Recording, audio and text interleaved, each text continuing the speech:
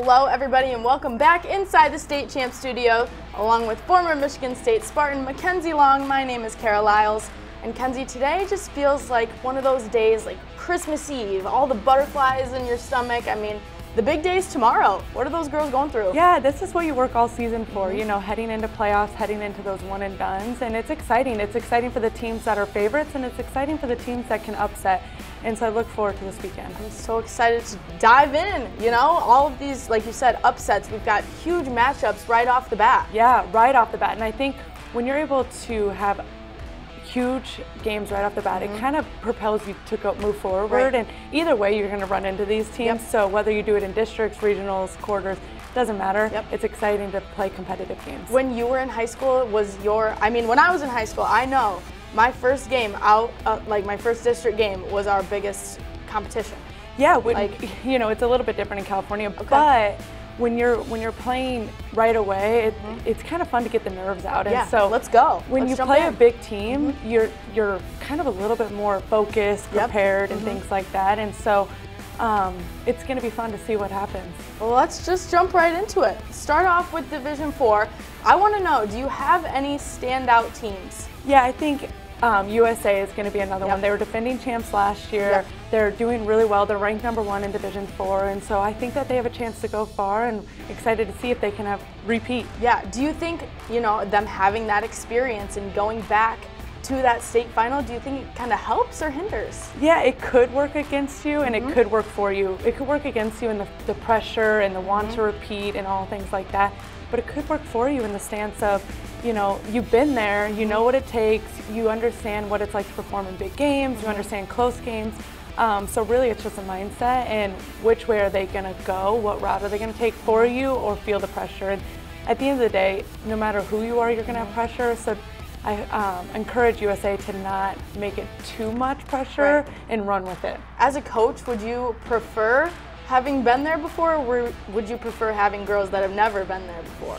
Tough one, right? It is a tough one. I think a balance of both is yep. perfect, right? Mm -hmm. Is having the leaders to allow the younger players to come with them and show them the ropes, mm -hmm. but also having the, the young ones are super important in this playoffs because yep. there's excitement, yep. there's, you know, this freshness. And so, the, you know, the freshmen and sophomores are important for these yeah. teams this year. Um, for districts, regionals is you want that newness, mm -hmm. you mm-hmm. want that excitement, and you know, not the dullness of just another game. Right, and being, you know, one of the juniors or the seniors that have been there before, to be able to see your younger teammates, like, this is it. This is what we've been talking about all season. Yeah, you know, I when you have a mixture of both, they kind of bring along each other, right? Mm -hmm. You you get the freshness, you get the excitement. Nerves are good, and yes. I think that's something that players want to run from mm -hmm. is they mm-hmm. get that nerves and they're like, oh my gosh, I'm so nervous. Yep. No, nerves are really, really good yep. and important because nerves means it means something exactly. to you. Yep. And so for the older players, if they're when they're working with the younger players, it's good that they feed off those nerves mm -hmm. because it means something to the younger players and it should mean something right. to the older players as well. Are there any teams in Division Four that you might think are sleepers?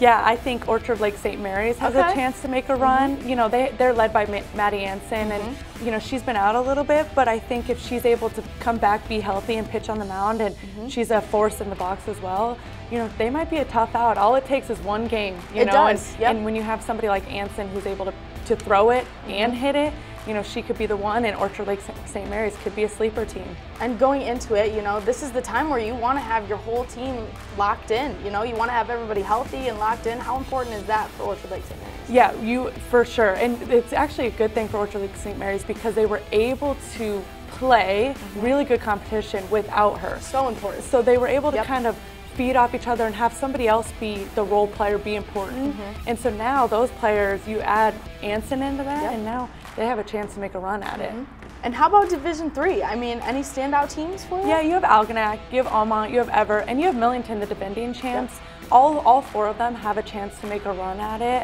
um, and so it's going to be a good competition at Division Three level. That's there's so many, you know, right off the bat. There's going to be so many big games, and how fun does it make it and just be able to like watch the tournament, kind of take a step back and see how things play out? Yeah, well, this is my favorite time of the year. I love mm -hmm. being a fan at this time because yep. this is when your players, whether it's your unsung heroes, yep. come out and perform or your big time names. And, mm -hmm. you know, it's one of those times where it doesn't matter who performs, and it just matters if the team Mm-hmm. performs. Yes, and so it's kind of fun to see the, the elite players becoming selfless teammates and just being role players. And it's fun to see the role players now turn out and be standout players. Like it's just it's so fun, you know, because like you said, it's so much more about team over me now. Yes, even 100%. the big names, it's no, we want to win. I don't care about stats anymore. I don't care about anything but winning. Yeah, and you know, Algonac has two players on our list in Ella Stevenson and Kenna Bomaredo, and mm-hmm. so that's huge for them because they're able to lean on each other, and so mm-hmm. that's why they're they're a favorite going into Division Three. Is is either one of them can show up, but they also have a team around them that's shown that they can play defense in big time games. Um, they've been in really close games. Um, and they've they perform, Right. and so when you're performing in close games throughout the season, it, it takes a little bit of the pressure off, and so that's exciting for them. And you talked about defense. I know we talked about it a lot last week. It's so important, you know, to focus on the little things and make sure you're doing all of those things right. Yes, defense is a game changer. Mm-hmm. I'm the It team is. that plays good defense is the team that's going to win. And mm-hmm. I and for our teams this week and moving forward, if they want to if they want to win, they need to put together good defensive mm-hmm. performances. All it takes is one run. One run is the difference between a win and a loss, and we've seen that in years past, and we've seen that we'll see that again this year. Yeah. Is is the team that's able to put together really good, strong defensive performances. And maybe tack in a few runs here and there mm-hmm. are the teams that are going to move forward. And that's what just makes it so exciting because you don't know. You don't. Anything can happen. Any truly anything can mm-hmm. happen. Are there any sleepers for you in Division Three? Yeah, you know, Grass Lake is a sleeper. Grass Lake is a, a strong hitting team. They have a lot of really good hitters. Um, Olivia Turner's on our list. She's a mm-hmm. phenomenal hitter. She's had a great season. You have, you know, there's just all together, they've put together really high offensive numbers for for them, and it's now can they just pitch it in, in the circle? They got Right. two seniors um, leading the way in the circle, and so when you have experience on the Right. mound, coupled with a really, really good offensive team with Riley Fitzpatrick and Emily Right. Guthrie and Olivia Turner, it's hard. It's going to be hard. They're going to be a hard out. And we talked about, I think it was a couple weeks ago, we talked about how important it is to have, you know, the lineup. It's not just one through five. It's they have a whole lineup They, oh my on. gosh, they really do. They mm-hmm. really have a, a really good, strong lineup. And and one through nine have performed. I mean, mm-hmm. they put up some strong numbers against some really, really quality opponents Yep. this year. And now are they able to do that and perform defensively? Right. They're they're going to be a really tough out. And I, I truly think that they're our sleeper team for um, Division Three. It's a mix. You got to have everything clicking right now. yes. You really do. Okay, moving on. Division two. Do we have any standouts? Yeah, you have Gaylord, you have Chelsea, you have Escanaba. Mm-hmm. Um, all three of them have a chance. And then you have Stevensville Lakeshore, who was the defending champs last year. Mm-hmm. Yep. Um, when you're looking at Division Two this year, I mean, it's a very, very, Very. strong um, division. They've all all of those teams have gone on and played and competed really well against Yep. Division One teams, and so it's going to be a tough out for any one of those teams. It's and I feel like it's so cool because you have you know that week before districts when these Division two teams are facing these Division one teams, and you're like, hey, like these girls are legit. Yeah, Gaylord, you know, they're they've done a really good job of coming down and playing really good teams. They've Mm-hmm. Yep. traveled far Yeah. to put to play the best in Division One. You And- have to, right? That's, exactly. That's going to prepare them for this week, and that's going to prepare them moving forward. Um, they have really good. They have the Jones sisters that are Mm-hmm. just phenomenal athletes, and then you have Chelsea, who also does a really good job of scheduling really Yeah. good teams. I mean, they have uh, they have really good senior leadership in Underwood on the mound. Yep. You know, they have Maya Purdy at shortstop, and then they have a freshman catcher in Katie Epsher that's really, really done a good job Mm-hmm. of being behind the plate and, and settling Underwood. Mm-hmm. I mean, Underwood is an elite pitcher, and so I'm excited to see what Chelsea can do. Talk about you know just a presence, having a freshman catcher, and her being able to.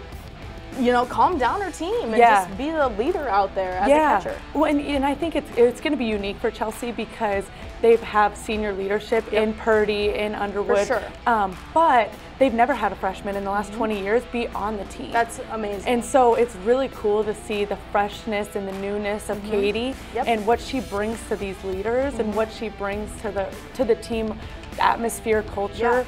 Um, but Emily Underwood is a, a proven competitor. Yep. She's done a great job. I'm excited to see her finish out her career, and same with Maya Purdy. what about any sleepers in our Division two? Yeah, I think you know. I really think Goodrich Okay. is a is a sleeper team. Okay. Um, they have two great players. They have a pitcher that can pitch it. She can throw up zeros.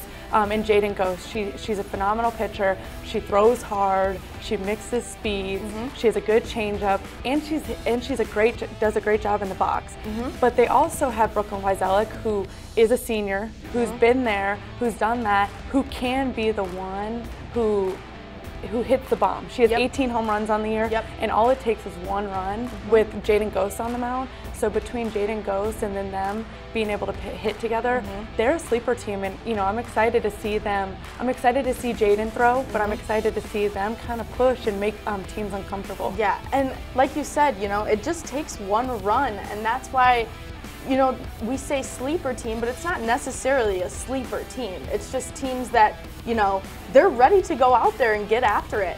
Yeah, when you, the key to, to this, to districts, regionals, and moving forward Mm-hmm. is when you have a pitcher that it can throw up zeros, then that one run can come off anything. Mm-hmm. Yeah. It can come off a walk, it can come off a hit by pitch, anything. anything, errors. And so, so when you have these teams that are our sleeper teams in mm-hmm. any division, most of the time it has to do with the fact that they have somebody on the mound that can perform, mm-hmm. and then they have players in the box that can be the one that just brings one run in. Yep. And all it takes is one run. And so Jaden Ghost, she can throw up zeros. Yep. She has a lot of strikeouts on the year. She's done a good job against some good Division One teams, mm-hmm. and so we're excited to see what she does. And in this division two, we have so many huge games right off the bat. Yes, we So do. So many. You know, two of our favorites are Gaylord and Escanaba, and they play each other right away in, in districts. which is right away. Like Mm-hmm. that's insane. Yeah, and you know, they've played each other in the season, and Mm-hmm. Gaylord beat them 9 to 0.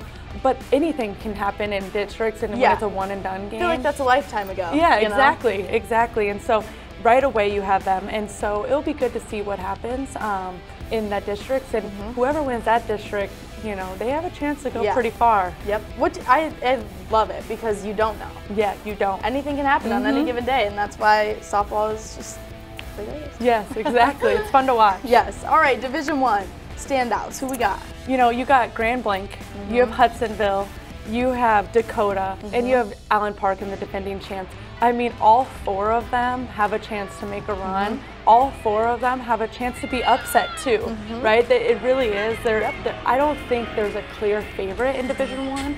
I think that there's a lot of teams that are have a lot of courage and culture that are wanting to help them move forward, and so.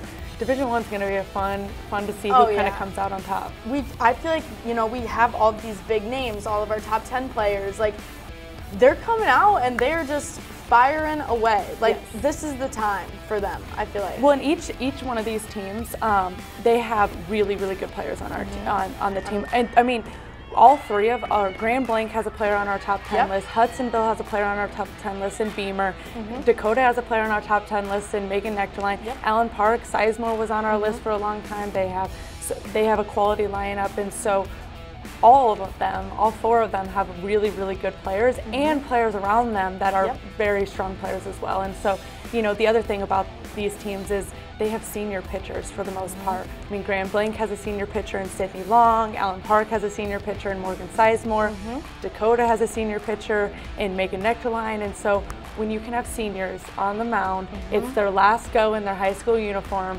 You know, it's, it's a it's a huge thing for them. And talk about just battles. You know, senior pitchers going up. You, you have the swag already. You know, you you're not really, you know, trying to prove yourself. I mean, Mm-hmm. you are in a way, but you've been there before. You've been there before, exactly. And most of these pitchers, you know, Sydney Long's going to Wayne State, Right. and Dakota and um, Megan Nectarline of Dakota is going to Kent State, Right. and um, Morgan Sizemore is going to Akron. And so they're all committed. Yep. They're all done, and so now they're just doing it for the fun of their community, Yep. Their high school. Um, and when you know you're going on and playing at the next level, you do have some sort of like you said, some swag in you, Yep. and some. There's not like this like oh my gosh pressure that This once I'm done, yeah. you know, I'm done with playing. Yep. They have a future, Yep. and so now they just get to go out and just show out for their community and Yep. their high school. And how fun is that to be able to go out? You know, I know you've got the whole community coming out to the games and, you know, to be able to go out there and put on for your community. How special is that? Yeah, that's a lot of fun. I got the opportunity to go to some of the district Mm-hmm. games and regional games last year, and I'll go again this year. And it's, you know, it's a crowd. The weather's going to be great. Yep. Um, you get to see some really quality games, and so it's fun to be able to play around and rally around your community. Yep. And, um, it's, it's exciting. And you can just tell that they want to bring home, you know, all of these titles for their communities just so bad. It's like the love for the game and the love for the community. You can see it right now. Yeah, I mean exactly. And so for Dakota, with their, you know, they have a they have a really strong senior um, class, Yeah. and so they are going to play with a little bit more. You know, just they have a little bit more push, you Yeah, know, and yep. then you have Hudsonville, who's on the other side of the state, who wants to prove something. Yep. You know, and Grand Blanc has a quality, quality lineup um, with great pitching and things like that, and so they're going to want to prove something. And then there's always that want to, to go back to back, and that's what Yeah. Allen Park wants to do. You know, they they have they have the lineup to be able to go back to back, and so will they be able to perform and show out? It's totally see what kind of team shows up. We'll see. I don't know. There's one more thing that I did want to ask you about. You mentioned, you know, being able to play with your high school teammates. And you know, for some people this is good this is it. Tomorrow's Yes. it for them. Exactly. There's a lot of players that tomorrow be, might be the last time they lace up their uniform or lace up their cleats. Mm-hmm. Ah, you just got goosebumps. Yeah, and it, you know, and so I mean, good for them, right? awesome. Good for Yeah, them that they played um, a high school sport, and good for all those players that are going to go on and do something with their life beyond the sport of Mm-hmm. Right. softball. And that's you know, and that's you're just a you're just somebody that plays softball. Yep. Your identity is not in softball. Your Right. identity is in in who you are as a person, Yep. and you just happen to play softball. So those players that are going to end their career tomorrow for for good, you know, Yep. congratulations on a great year. Yeah. Um, congratulations on a great career. Yep. And good good luck. And I want to talk softball, just the game of softball. What is it, do you think, that is going to be, you know, the factor going through this tournament? What do these teams really need to focus on as they're looking to make that push? you know, when you, it's all about the team. Mm-hmm. Re- It really is, and, and it's all about execution. I think execution is the key. Can you execute? Can you do the little things right? Mm-hmm. One of the things that gets overlooked the most, in not only in high school but in travel ball, is base running. Okay. Base mm-hmm. running is huge because you know a base hit can turn into a run mm-hmm. or it can turn into just another base and you're running 60 feet at a time. And Right. so when you're able to execute in the box, execute on defense, mm-hmm. but the key really is going to be who base runs, who can put together really good, who can string together hits, but when mm-hmm. you string together hits, are you able to score those runs? Yep. And are you able to stop the bleeding um, when those runs are happening? And base running shows that, right? In the sense of, you know, a ball hit to the outfield, are you stopping the runner from coming to second? Or are you Yep. in leaving him at first? Are you letting them go to second? And now Yep. another base hit scores another run, and now you put up crooked numbers. Yeah, and you know, like we talked about adversity, we've talked about it all season long.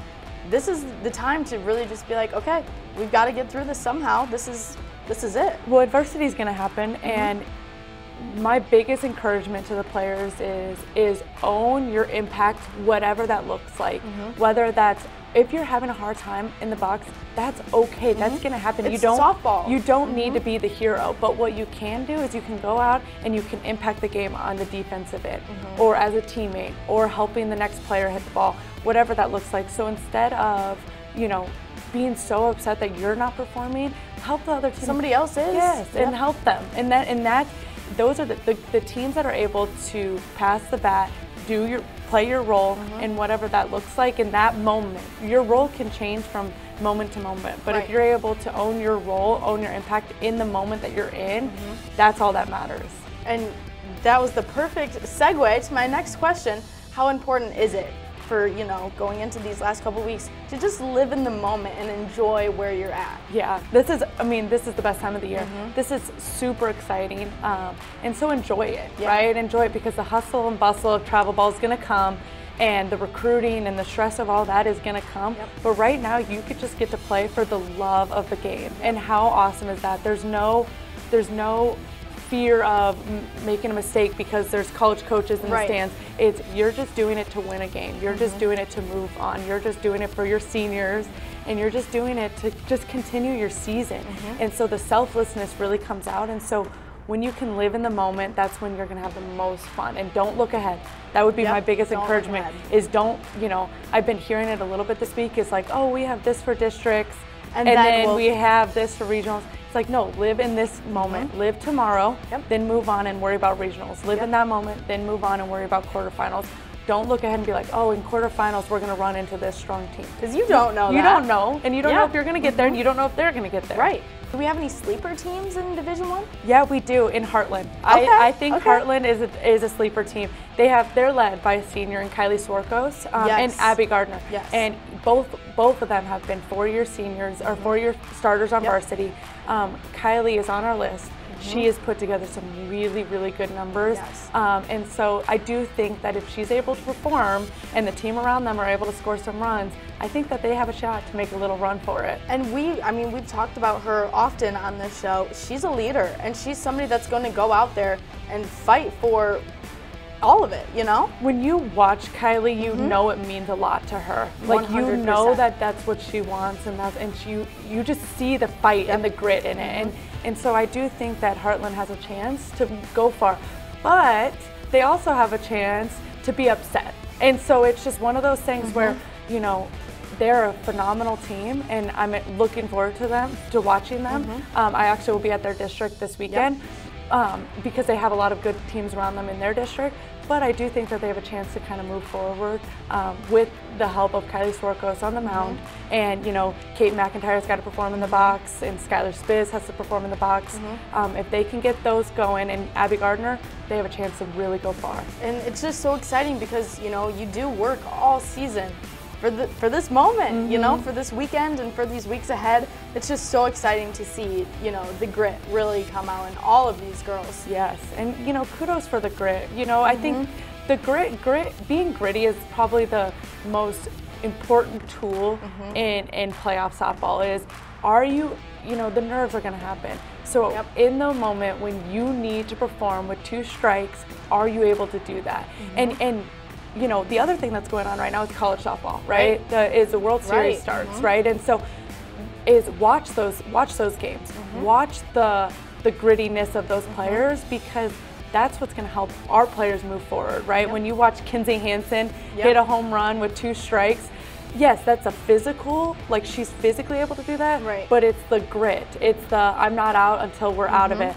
The you have to get me out on the last pitch. Mm-hmm. Yep. And you can learn a lot by watching them play and watching the grit from Clemson and things like that, putting on a good run. Yep. And so, you know, while districts is happening, make sure you're watching the college games too, Yeah. because that's where you're going to get the characteristic components of what makes great teams win. And a lot of, you know, the girls that we have talked about in all of our teams will go play at that next level. And some of them might be, you know, in the same boat sooner Yes. or later. So, Yeah, and you know, you, you you can learn a lot about what's important by watching the college game. Yep. You can watch the team celebrate walks. You can watch the team celebrate hit by pitches or st- stolen bases or diving plays or strikeouts. Mm-hmm. Um, you you know that every pitch matters when you're at the um, College World Series. Right. And so it's, it's important for our players to watch that because I think they will take on what's important to the college Yep. players. And when you take that on, that's the recipe for success. Yep. And you know when you when you can see it on TV and Mm-hmm. see what the recipe for success is, just just mock that. and it just gets you hyped. Oh, you know, yeah. just watching them Oh get so gosh. excited. You're like, okay, I get to go play tomorrow, and I'm gonna be that this excited. is like the best time of the year It when you get to watch It is. district softball and you get to watch regionals and you get to watch the Women's College World Series. Yep. I mean, I'm pumped for a I'm weekend pumped. of softball. Well, we've got a familiar face back on our top 10 list this week. Yeah, we're adding Ella Stevenson back on the list. You know, she's go- she's at Algonac with her teammate Kenna. Mm-hmm. Yep. And Algonac goes as far as Ella Stevenson goes. In the last, you know, 10 games or so, she's done a great job. She's really doing a good job in the box, and Mm-hmm. so we're excited to have her back on our list. And it's important to know that we do freeze our top 10 list after regionals, but two years ago, Ava Bradshaw was added right after districts, and she ended up going on to win our softball player of the year. Yeah, you know, when you perform in big games, Mm-hmm. that's that's huge. And so, you know, two years ago when Ava was able to do that and make a little run and win a state championship, that's what we're looking for. Is you can be really good in, in games that don't really matter in the middle of the season, but when you're able to perform and show out in games that matter, Right. That's that's what makes you a player of the year. And so just like Ava, it can happen to any player. Um, and we're watching closely to see what players perform in districts and beyond. in these big games, Yes. right? Like you said. While Megan Nectarline is still leading our online vote, you can cast your vote for her or any of our members of the top 10 list at statechampsw.com. Well, we are so, so excited to see what plays out this weekend and what plays out in these next coming weeks. But I, do you have any last minute advice for these girls as they go into the tournament? Yeah, I, my my advice would be be you.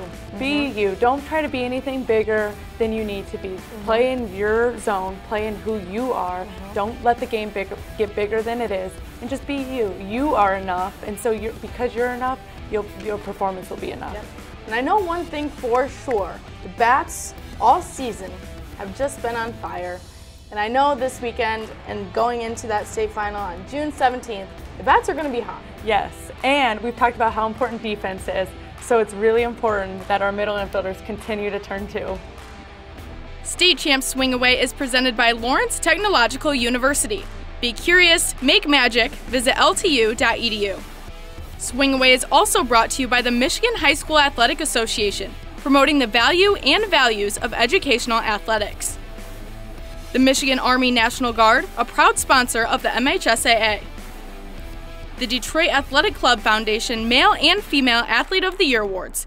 Who will be this year's award winners? Find out live June 5th only on State Champ Sports Network. Turnin2 softball. Experience Turnin2 softball where the mission to build champions both on and off the field.